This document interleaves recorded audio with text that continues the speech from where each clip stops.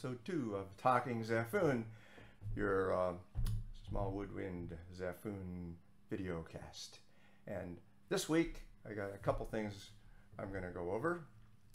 I'd like to talk about the uh, what I call the major triadic scale, and uh, more commonly known as major scale arpeggios, which are boring when you look at them that way. We'll try to make them more interesting.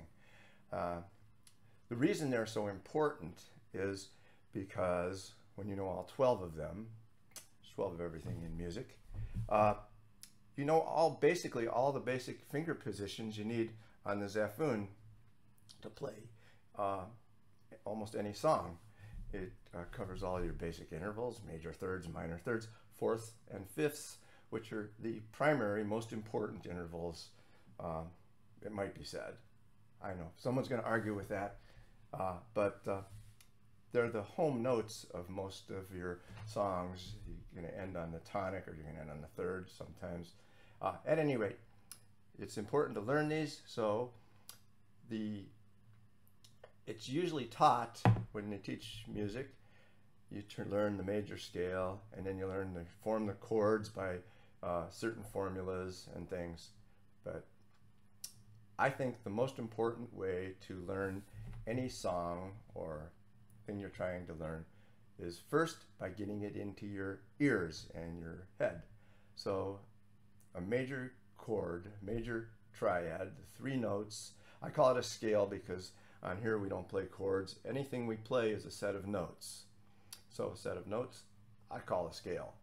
Uh, and it's a triad. There also the triads are the basic root chords that are used in music. Uh, and the major ones are the major ones. Uh, so the important thing to know is you take a root note, which is say hmm, and you know the sound, which is hmm, mm, mm, one, two, three.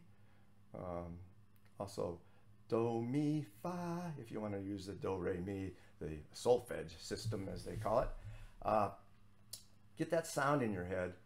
With this instrument, it's more important than almost any other instrument um, to know the sound of the melodies and of the notes you want to play when you're playing them because of the fact there's so much bendability and that's one another thing we're going to always be talking about on the Xaphoon is how easy it is and sometimes often unintentionally we bend notes.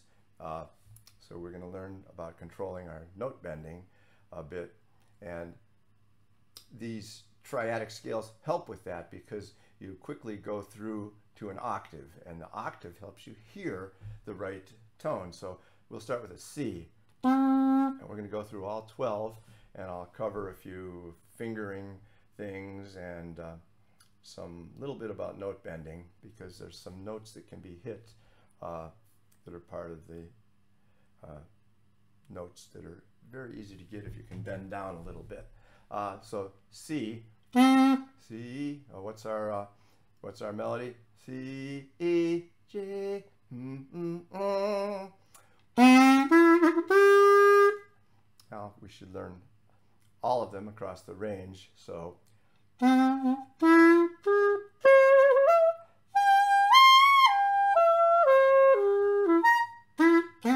watch my squeaking.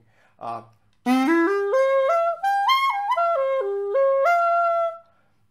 take those notes. Now maybe you can't hit the highest one, but uh, put some rhythm to it and just do something with it.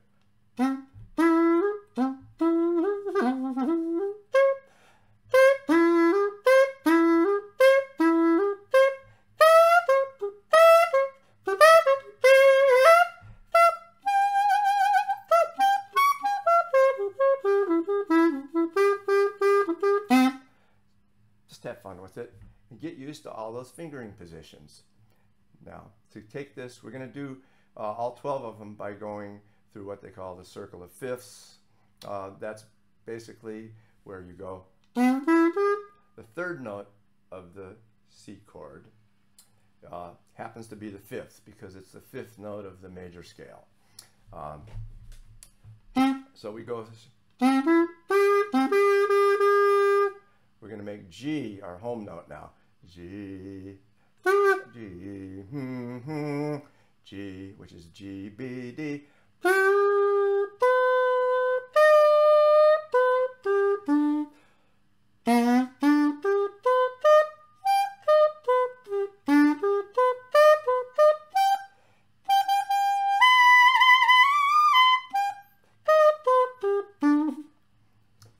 an upper register nut, so I got the D up there. Uh, and I also that note is a B. So the lowest note on the Xaphoon is normally the C.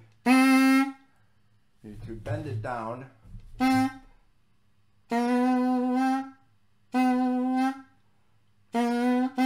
Notice you can tilt the Xaphoon light slightly or uh, with your lip, uh, you push push your lip out a little.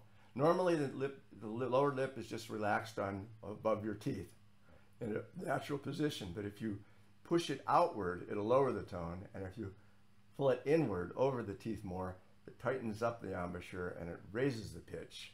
So uh, if I pull it in, that's going. Pulling it in, pulling it out, brings it down to the B. Um, those notes that are out of the range of the Xaphoon, uh, they cause trouble sometimes. If you start, if you want to start a piece with that, because playing them cold, there you have to really have the sound in your head to, whereas the notes that are fingered properly, just relax your embouchure and play it. But you're doing an odd embouchure, so when you're hearing it, it you can play it. Let's go, let's try to get through this a little quicker. So the GBD, D, D, D, F, A, D, F sharp A. Just from the sound. You should learn the sound. It's very important. Then you take a note, and if you're playing the wrong note, you'll know it right away. No.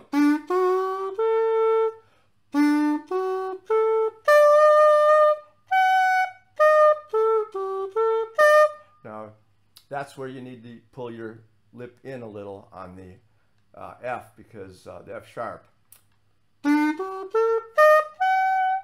If, if you're playing the F by pulling it up, you can, the open F, the F,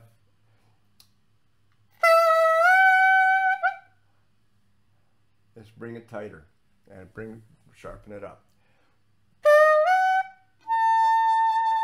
Or you can bring the G down. I'm holding the G fingering and that's pushing the lip outward from the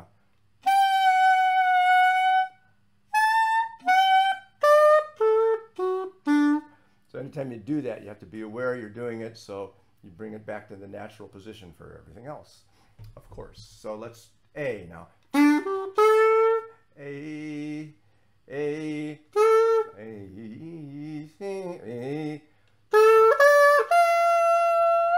A, C sharp E, or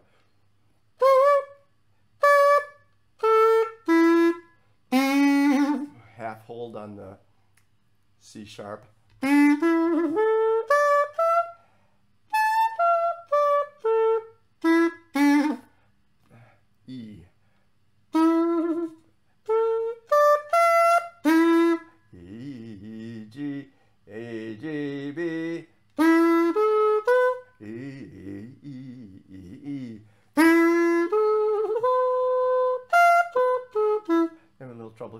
Myself. E, E, G, B. Mm -hmm, mm. It's out of my singing range. uh, B. Oh, before I go on to that, I want to show something on the E fingering, the E uh, triad. So you have the E and then the uh, normal G sharp fingering, which this hole is open there if you can see that. Um, instead of, I like to a lot of times play it this way uh, with, um, this is hard to see. So instead of, basically what I'm doing different is instead of using one, two, three down here, I'm using one, two, four, which is like you use for the E flat. And then when you go to B, all you have to do is switch these two fingers. You lift up the third finger and bring down the fourth finger, and it goes from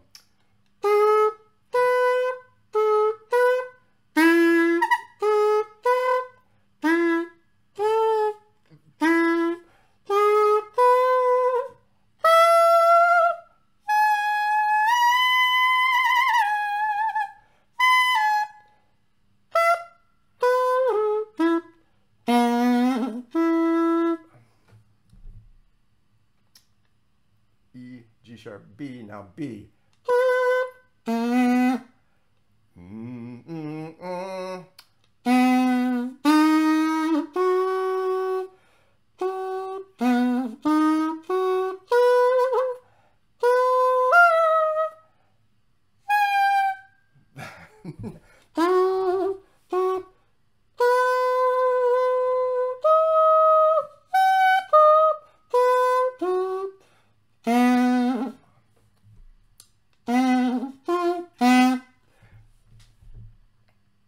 cut out some of this video. If uh, so, from the F sharp, F sharp, A sharp, C sharp.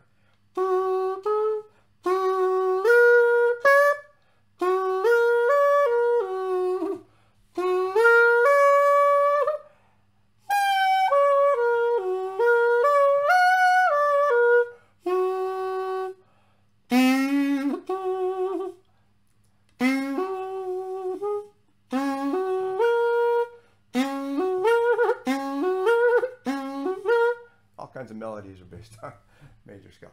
Um,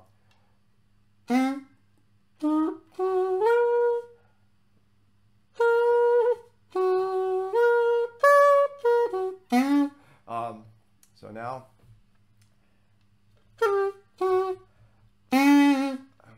where am I at? Where am I? uh, so F sharp. So so from uh, now we're on C sharp, D flat.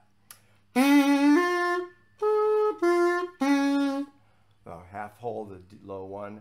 So C, it could be either C sharp, F sharp, G sharp, or D flat, F, A flat.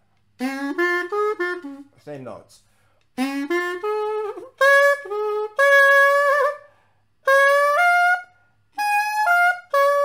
Now notice the uh, the half hold D and uh, the A flat in the upper register is the same fingering. So have re- uh, recycles your fingering.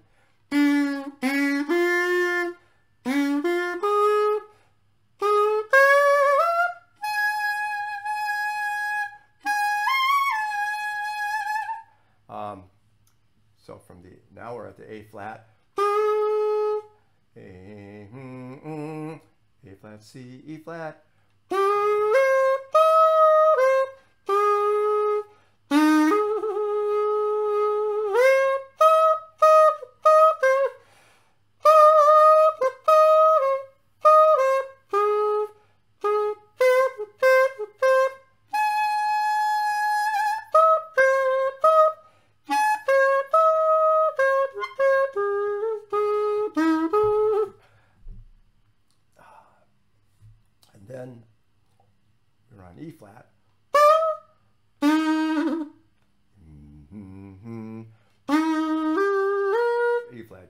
Flat.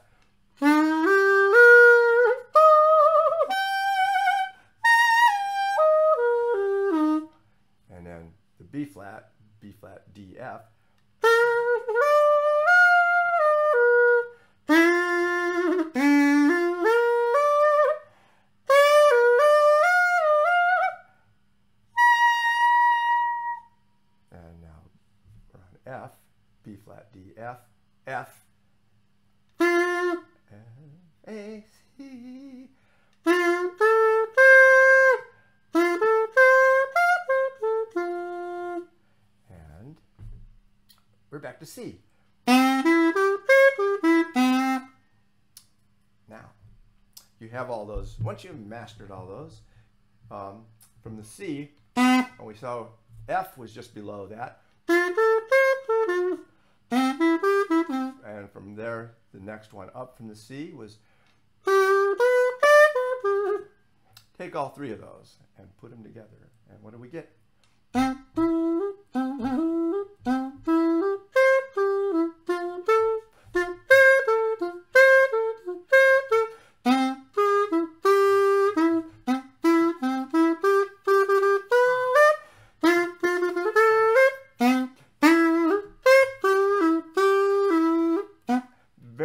Basic blues pattern. You can play with that. Um, they, um, when you go one way on the circle of fifths, it goes to the fifth. When you go backwards, it's going to the fourth because the F is the fourth note of a major scale. So they call that the four chord. That's where they get these, this terminology. But you should just learn it by the sound. Mm-hmm. It's a fourth. Fifth is. Mm-hmm. Mm-hmm. So I've covered all that. One more thing I wanted to cover. I showed you a little bit about note bending. Um, how low can you bend? So this does depend on your reed. If you have a stiff reed, uh, you get less bendability. And I've had reeds where I could not even bend it down to the B below the C. So if you're someone that really likes on pitch and doesn't want bending, use a harder reed. Of course, harder reed takes also a little harder to play. Uh, so you need to be a little stronger. But um, so new players start out with a soft reed and they also have a tendency to go out of pitch more. Um, that's why it's very important. Train your ears. Can't say that enough. It's uh, you have to tune yourself if you want to tune your Xaphoon. But uh, as far as uh, note bending, so uh, um, we went down to a B. Now, for playing in B flat,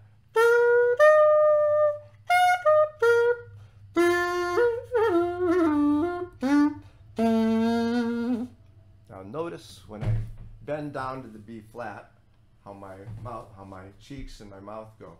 And the, another thing with the Xaphoon, I told you about your lip going in and out. You also tilt the Xaphoon in and out. So sharpen it by pulling it in, flatten it by. So you put some of that, you combine that with moving your lip out, and you can pull it down even more. So if we're in A, I'll play something in A minor right now.